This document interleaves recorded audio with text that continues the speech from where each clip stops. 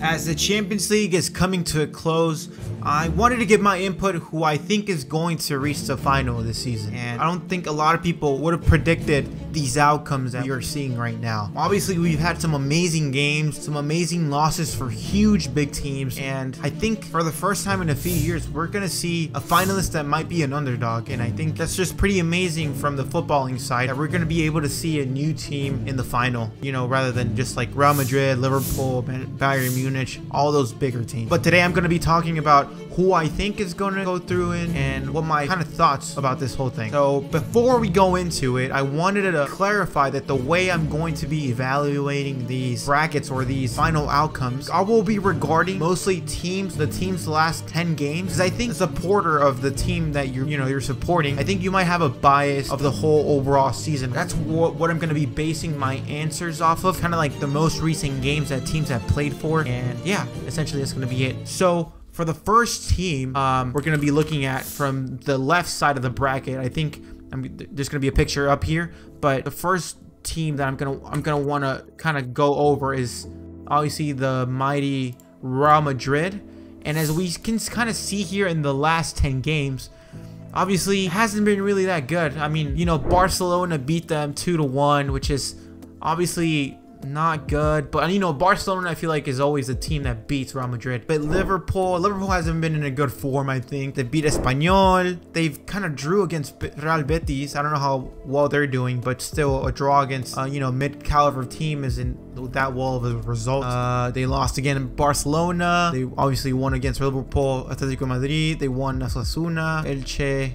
And then after that, it's been kind of iffy because just because it's been the club, club World Cup final, which uh, there isn't really that much competition. So I'd say in my regard that Real Madrid has had some obviously amazing moments, but just I think if you go more recently, they've kind of had some iffy results against Barcelona, Real Betis, and Real Madrid and Barcelona. So I don't know. I, I think if I were to give a rating on, on this team based on performances, I think I'd have to give at least maybe a 7 out of 10, maybe out of the last 10 games. So the next team that I'm going to be going over is going to be Chelsea. And I wanted to go over their, you know, their last 10 games as well.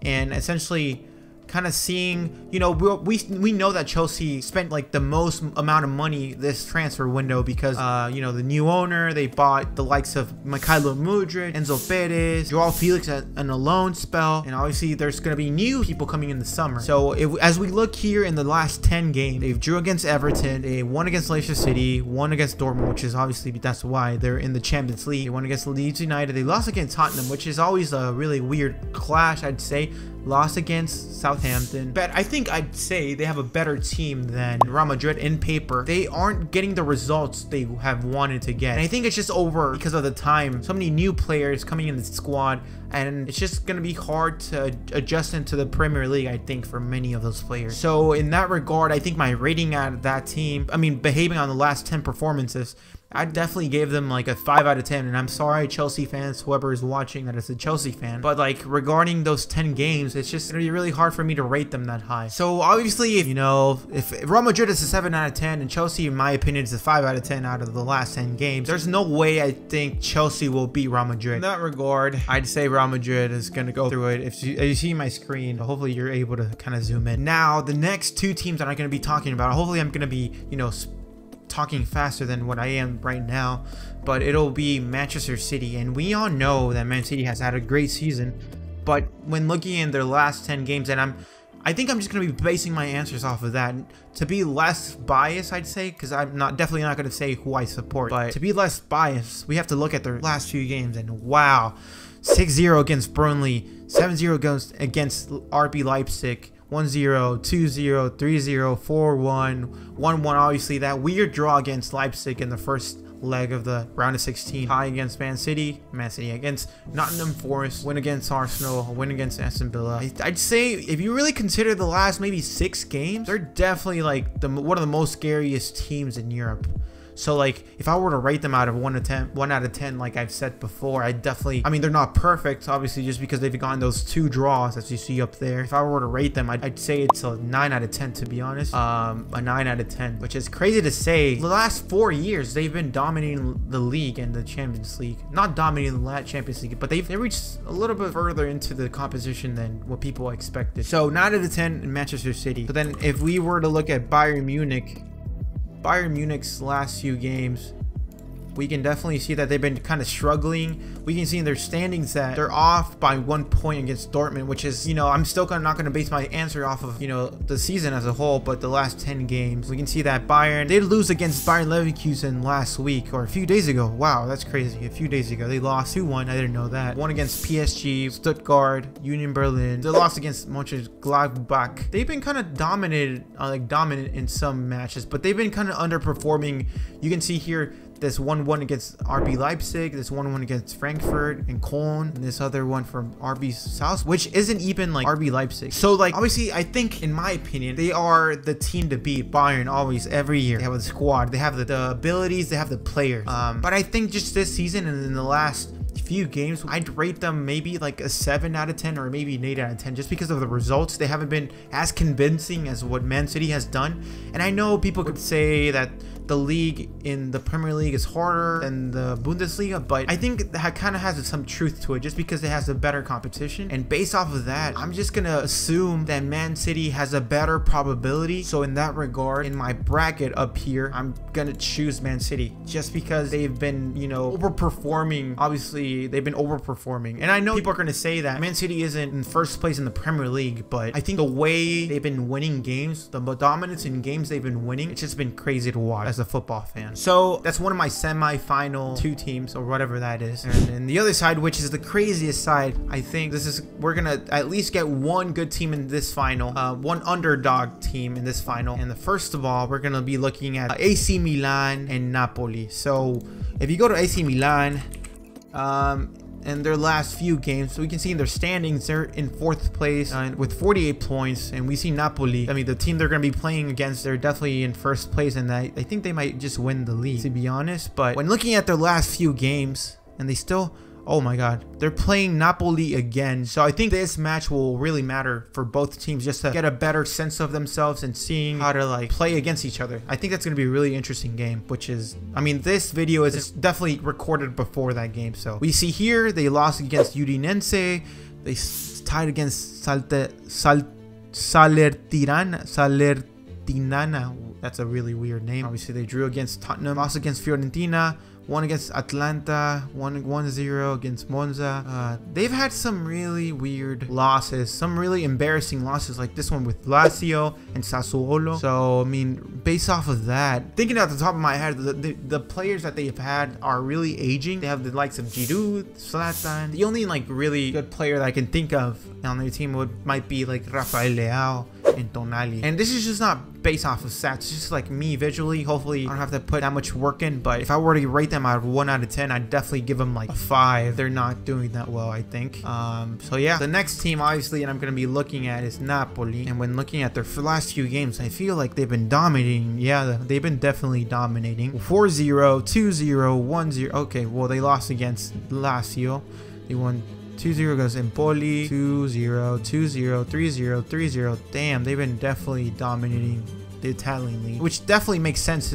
They're in first place at the moment. And just based off of that, based off of the players that they have in their squad, Osimhen is de definitely getting back in form just now. The amount of goals he's been scoring has been amazing. Kvaratskhelia, I think that's what his name is. He's been tearing it up the last few games, I think. I believe that he is. So based off of that, I'd give him, I'd say I'd give him like an 8 out of 10. Based off of those ratings, I think the most probable player or the most probable team that is going to win is Napoli. So in my bracket, I have them winning this game. And for these two, Benfica and Inter, this is going to be a really interesting match just because Benfica has been definitely tearing it up in the Champions League, but I'm also sure in their league how much, how well they're doing.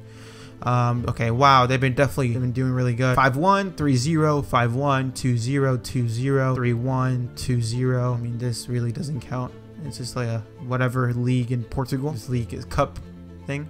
3-0, 2-0, 3-0. So based off of that, and then I'm gonna be kind of looking at uh, their players. So we all know that yeah, they have really good players. Even though they lost Darwin Nunez and so many other players, they lost Enzo Perez this this January window, but they have some pretty good backups. Like I heard Gonzalo Ramos, David Neres, you know, some really good backup pieces like Rafa Silva.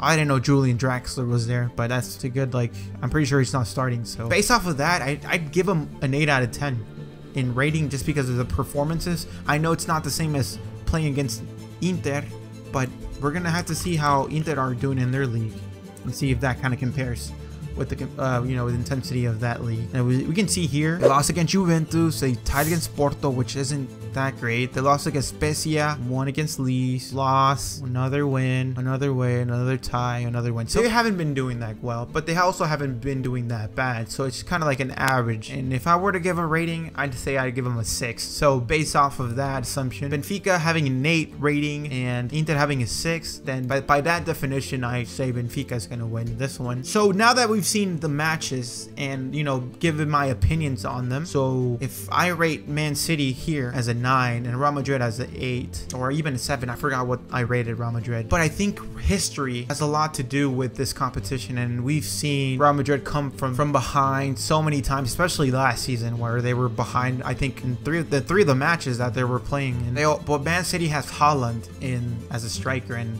this year is different. So, I mean, by that assumption, I don't really know who to pick. I mean, by rating, I'd say Man City but in my heart, maybe Real Madrid just because of their history and I know what they can do on this Champions League and I know what they've done over the years. But I think my gut tells me to pick Man City just because of Haaland. I think I think this year will be different. So I I'm sorry, a lot of Real Madrid fans, but I think Man City. There's no way beating this Man City side, especially with Haaland as their new striker. So I think I have Man City in the final. And in this other side, I have Napoli and Benfica, which is going to be crazy. I don't really know who to pick just because they've been having good campaigns. And I'm pretty sure if you if I were to go to Benfica, they're in first place by 10 points. And I know it's like Liga Nos, meaning Liga the Liga the Portuguese league. Based off that assumption, Benfica and Napoli. I just say I think I think in my opinion, in my heart, because of the the players that they have this season, Napoli is gonna win it. Win this match, not the whole thing, but win this match. So this is what I'm gonna be putting as my bracket. So Man City and Napoli. And what I have as my verdict might be I mean there's it makes kind of it makes sense who I might go for. And I think this year might be the year Man City wins the whole thing just because of Haaland and the amount of consistency they've had over the se- over the years and, and especially this season, especially the last 10 games. So I think I had my winner to be